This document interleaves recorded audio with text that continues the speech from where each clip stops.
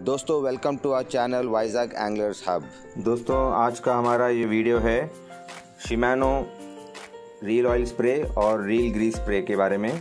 दोस्तों, ये Shimano company का है शिमानो ब्रांड का है। रील ऑयल स्प्रे है। आप बेट कास्टिंग रील हो तो आप उसमें बहुत अच्छे से यूज़ कर सकते हैं। इसका क्वांटिटी आता है 60 एम का। एंड इसी के साथ ये ग्रीस का भी आता है। करीब 60 एम का ये देखिए 60 एम एल। तो दोस्तों ये 60 एम का ग्रीस है और इसमें स्पेसिफिक स्पेसिफाई किया गया है विद बैकग्राउंड ग्रीस के पीछे रेड कलर में। तो उसके साथ एक रेड नोजल का नोजल दिया हुआ है जिसको आपको कैप ओपन करना है और नोजल को निकालना है और इस पर बस लगाना है और आपको स्प्रे करना है। एंड ये बहुत ही अच्छा इसका परफॉर्मेंस रहा है।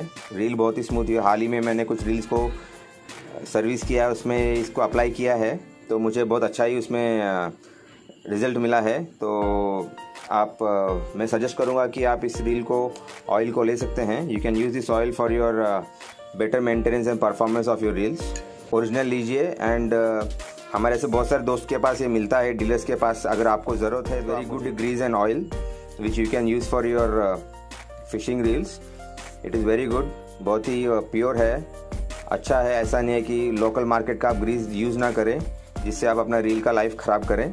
तो इट इज़ वेरी गुड इसको आप आराम से इसमें और भी ग्रीस कंपनीज़ के आते हैं जैसे पेनका हो गया uh, या तो अबू गाजिया हो गया बहुत सारे अलग बट मैं इस पर बिलीव करता हूँ क्योंकि इसको मैं कुछ टाइम से यूज़ कर रहा हूँ और देख रहा हूँ कि uh, मेरे रील पे ज़्यादा कोई इफ़ेक्ट नहीं आता है बहुत स्मूथ रहता है हमेशा आफ्टर यूज़ ऑल्सो मैं देखता हूँ उसको। तो मैं एक बार इसको ग्रीजिंग करता हूँ या ऑयलिंग करता हूँ तो उसके मुझे करीब कुछ महीनों के बाद ही मैं फिर से इसे यूज़ करता हूँ। अगर एक बार आप ये ले लेते हैं तो it will run for you like तीन साल तो आप आराम से चला सकते हैं इन चीज़ों से। सो so, दोस्तों देखिएगा कि आप कोशिश कीजिए कि ऐसा आइटम आप ले लें। एंड ताकि आपके रील का परफॉर्मेंस हो गया या फिर लाइफ हो गया वो थोड़ा आपको और ज़्यादा मिले। So try this re reel oil spray and reel grease spray thank you दोस्तों। Stay for stay tune and